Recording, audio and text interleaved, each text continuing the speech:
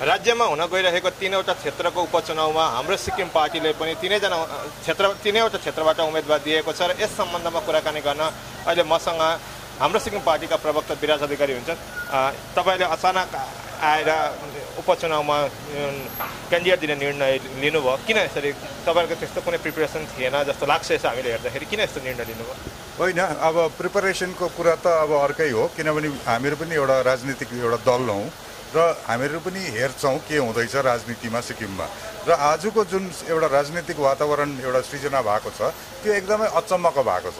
किनभने अब हेर्नुभयो भने इभन मिस्टर भण्डारीको टाइममा सङ्ग्रामको सरकारमा पनि यति साह्रो इन्टरफेरेन्समा या निहुरिनु पर्ने दिल्लीमा थिएन।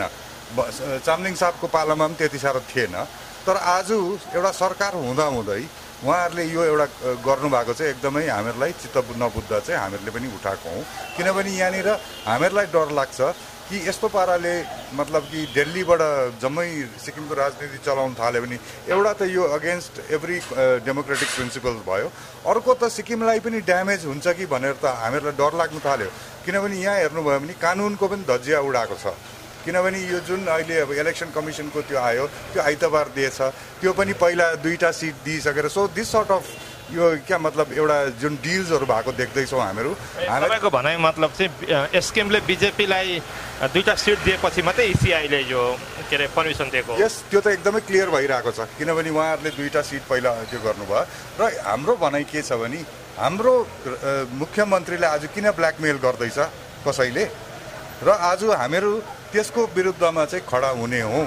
कि हामीहरूलाई इन्टरफेरेन्स किनभने कन्स्टिट्युसनली हेर्नुभयो भने पनि इन्डियन युनियनमा कन्स्टिट्युसन छ। कन्स्टिट्युसनको आधारमा काम हुनुपर्ने हो। तर आज न्यू दिल्लीले सबै कुरो यहाँनिर इन्सिस्ट गर्छ या उनीहरूले ब्याकडोरबाट आउने एउटा चेष्टा गर्दैछ भने यो त सिक्किमको लागि पनि राम्रो भएन नि। उहाँहरूलाई त हामीहरूले वेलकम गर्थ्यौँ फ्रन्ट डोरबाट आएको भए मजाले। किनभने अस्तिको इलेक्सनमा एक पर्सेन्ट भोट छैन।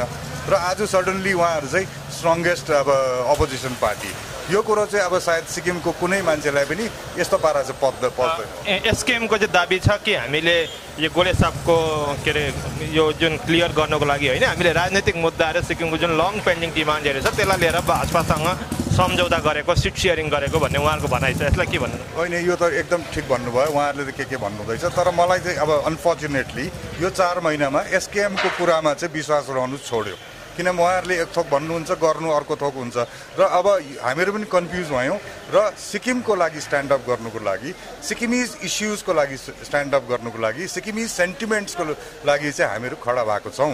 र हाम्रो सिक्किम पार्टीले पनि दुईवटा उम्मेदवार दुईपट्टि चाहिँ हामीहरूले खडा गऱ्यौँ गेन्टोक कन्स्टिट्युन्सी एउटा हट सिटको रूपमा अहिले देखिँदैछ। तपाईँले हाई प्रोफाइल तपाईँहरूको नेता भाइचुङ भुटियालाई उठाउनु भएको छ। कतिको कन्फिडेन्स कन्फिडेन्सको कुरा भन्दा पनि एउटा कुरो के म भन्नु चाहन्छु भने अब यस अहिले अब बिजेपी एउटा मुख्य प्रमुख दल भएर आएको छ होइन। तर आजसम्म यो पचास वर्षमा किन चाहिँ नेसनल पार्टीले जित्नु सकेन? त्यसको पनि कारण छ नि त। यो कारणहरू चाहिँ सिक्किमे जनताले भुलिसकेको छ होला सायद। हामीहरू चाहिँ त्यसलाई रिमाइन्ड गर्न आउँछौँ। यो इलेक्सनभरिमा।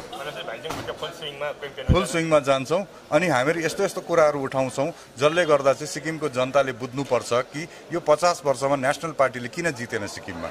यो कुरा बुझाउने हाम्रो काम हो अनि यो हामीहरू बुझाउँदै जान्छौँ। अनि यो बुझेपछि कुन आफूलाई सिक्किमको लागि सिक्किमको हितमा सोच्ने जो जनता हुनुहुन्छ उहाँहरूलाई हामी म जान्दछु कि उहाँहरूले कदापि पनि नेसनल पार्टीपट्टि फर्केर भोट दिनुहुन्न। Thank you.